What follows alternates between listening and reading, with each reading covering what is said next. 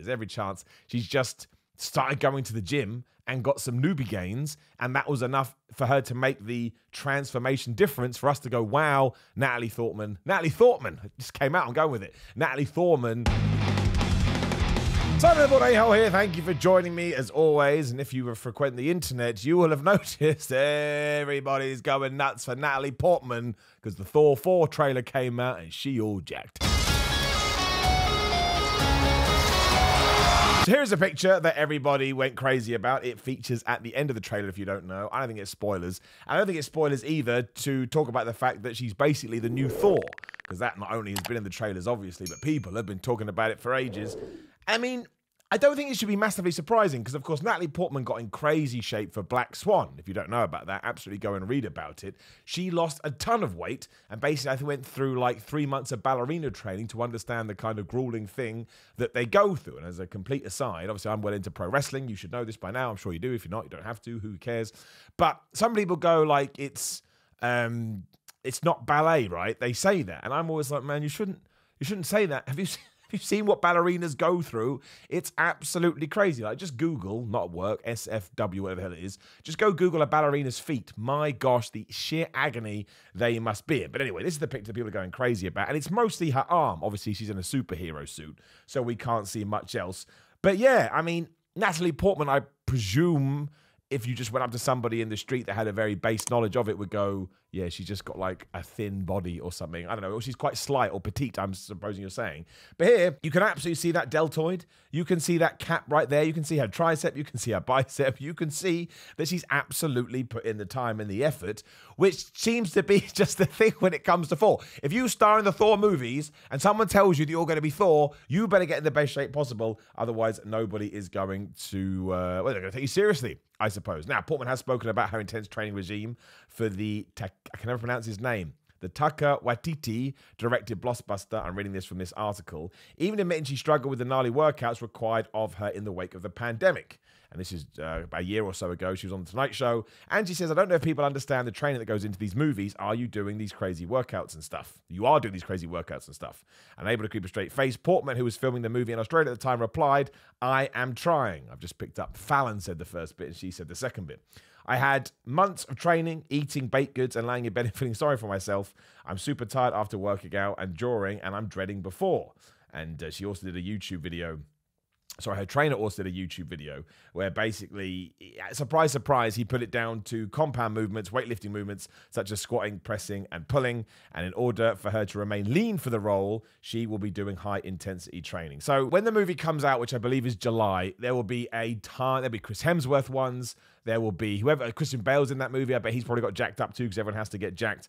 But her main thing is running. She's talked about this a lot. She's big into running. She kind of uses it as meditation, I believe she said. So she'll go for 60 minute runs in order to keep her lean physique. And obviously for Thor, what she's done is she's got a personal trainer and she's just eaten chicken, chicken, broccoli, and rice. Of course, she hasn't done that. But she has gone down. I, I, totally believe you would go to compound movements. Like if you're using somebody who is quite slight, the best thing to do when it comes to the gym, I mean, isolation exercises are good too, because obviously you're going to hit a specific muscle group. But if you get them doing bench press, squats, deadlifts, military presses, not only are you going to be working chest, shoulders, back, legs, but you get all your stabilizer muscles uh, kicking into gear as well. So, example, on a bench press, you're not just working your bench. I'm sure you know this. Your delts are going to kick into play. Your triceps are going to kick into play. So, when you are working on a tight deadline, it is the best way to build muscle. I'm not going to say in the quickest way because that depends on your genetics and your training and your rest and anything else you may be doing, but it's certainly a good way to uh, use that time when you go to the Fitness Palace of Love. Now, the next question, as ever, is going to be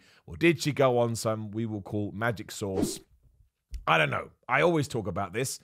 I think the best way anybody has ever put it, I believe it was Greg Doucette that said it, is if there was millions of dollars on the line and you knew you had this hard day where you had to look a certain way and you had a bunch of health and medical professionals around you and you had access to the special sauce, why would you say no? Because let's face it, let's be honest with ourselves. The reason, myself included, uh, we don't do it is because we worry about our health. I can only imagine that's the number one reason people don't do it. So if somebody said to you, and they meant it because they were a doctor or whatever, hey, you can take this, we're going to basically push you to the top of normal levels when it comes to your hormones, etc., and you're going to get in phenomenal shape, but we'll keep an eye on you so there are no health detriments.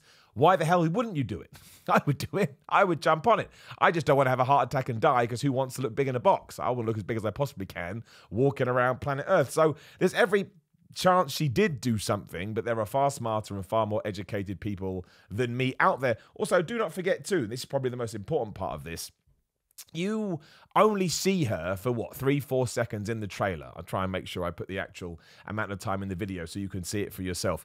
This is going to have been shot very specifically for this scene. So i bet she's done a bunch of press ups i bet she's done a bunch of pump up exercises. She's going to be well lit. Maybe she did the crazy henry cavill stuff where he pretends not to have drunk for 78 years even though there's no reason to do that. But the point is she will put herself in the optimum way possible so she looks as good as possible because they're trying to sell you a movie. I just saw down here 8th of July 2022 comes out. But yet they want to sell you a movie. So if you see Natalie Portman looking all jacked and think, wow, she's a new Thor, if that's enough to send you over the line, then the trailer absolutely did its job. So always take that with a pinch of salt because again, it's it's like everything you see on Instagram. I don't want to get too too off track here, but it is like everything you see on Instagram. Instagram, you come across these influencers, these fitness guys who look absolutely incredible. But I bet if you just pulled that camera back a little bit, you would see a ton of people going to work in order to make it look like this. If you took a picture of them on a phone when they just walk out, work out, uh, got out of bed, of course, they still look good and amazing. I'm not saying they're not putting in the work. I'm not saying they're not putting in the time. They absolutely are.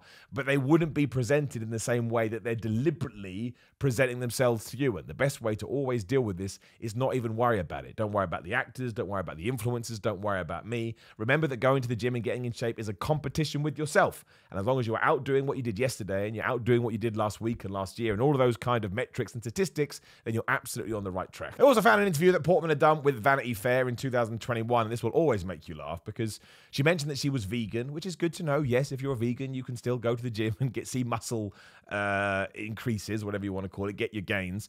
And she basically mentioned that she upped her protein and drank a lot of protein shakes, which I love. Some people think there's always going to be some secret answers that they're not. But she said, We did a lot of weight training, a lot of protein shakes, heavyweight training that I've never done before. Of course, I never really aimed to get bulky. Remember that. It was very physical, so it was a lot of both agility work and also strength work. Portman said she has worked with a trainer for four months prior to shooting, as well as during filming, since muscles take time to build. It's a myth that weightlifting makes women bulky overnight. So I'm just reading this from their website. Women who are just beginning to strength train can expect to gain about a pound of muscle per month in the first year. What? Even if you're looking for a lean, toned look, nobody is toned, you're not a printer. Lifting heavy helps build muscle to make that happen blah, blah, blah. Wow, I mean, that's just gone completely off the rails. All right, let's just talk about this for a second. Yes, there is this worry, not just from women, what stupid thing to say, from men as well. They'll say, oh, I don't want to lift weights because I don't want to get bulky and turn into Arnold Schwarzenegger. If only that was true, I would be huge right now because I've lifted and tried to bulk my entire life. It all depends on your genetic predisposition, right? Some people are going to lift weights in a few weeks just look absolutely massive. That's just what happens, and we hate these people. Most people, I don't get this whole, where's it gone? Most women can expect to gain about a pound of muscle per month in the first year. I mean, that's absolutely gibberish. That depends on so many factors. Ignore that, women. Don't worry about it. But obviously, men are able to, uh, you know, gain muscle easier compared to women due to their chemical makeup. But if you are a female, you are still able to follow the exact same plan in order to get muscle. There'll be a few differences, but these are very, very, very, very minor things. So, as ever, she had four months to work out. She lifted heavy. She ate a bunch of protein. And again, maybe some other things happened. We don't know. We'll have to see her in the movie. There's every chance she's just started going to the gym and got some newbie gains. And that was enough for her to make the transformation difference for us to go, wow, Natalie Thortman. Natalie Thortman just came out. I'm going with it. Natalie Thorman looks like you know she could play the role because this is what we did when we talked about uh, Robert Pattinson on the Batman movie when apparently he was all trolling us and more power to him.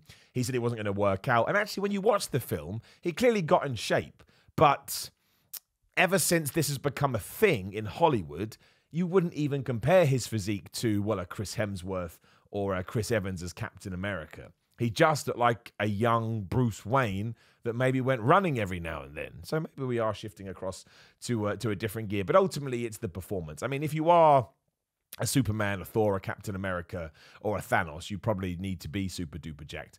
But uh, who played Thanos? I can't remember his name now. I can see his face. Josh Brolin. Josh Brolin got away with that because that was all CG. so that's that's maybe the way to do it. I would do that. That's an interesting question. Right, here we go. This is what I'll leave you with, and I want you to post in the comments your answer. Somebody somehow can CG you constantly, right? So you're walking around your life and you are basically being I of projected in computer graphics the entire time. But it's no it's no stress on you, and nobody can see it happening. But every single other person on the planet looks at you and think you're as big as Thanos or whatever the hell your dream physique would be. Would you take it? And would you still keep going to the gym? That's very interesting. I think I certainly would. I would take both. I would keep going to the gym, and I would keep trying to um, increase my own muscle mass. But I would take the take the CG as well. I don't know how we got here. The point is, everybody was talking about Natalie Portman, so I wanted to throw my two cents in there. I'm very excited about the uh, the film. I think the trailer looks great. I was going to react to it, but then life went life, and I wasn't able to. But I do intend to do more of that going down the line. Don't know why I told you that, but I did. That's it. Now, please do like the video, share the video, and subscribe to the bell ding dings. You know the videos are going live. There will be another video on the screen. Please do give it a click. Also, gorillamind.com forward slash Simon. Use code Simon, get 10% off all of those supplements. I use them. I think they are very, very good. You may disagree. There's only one way to find out.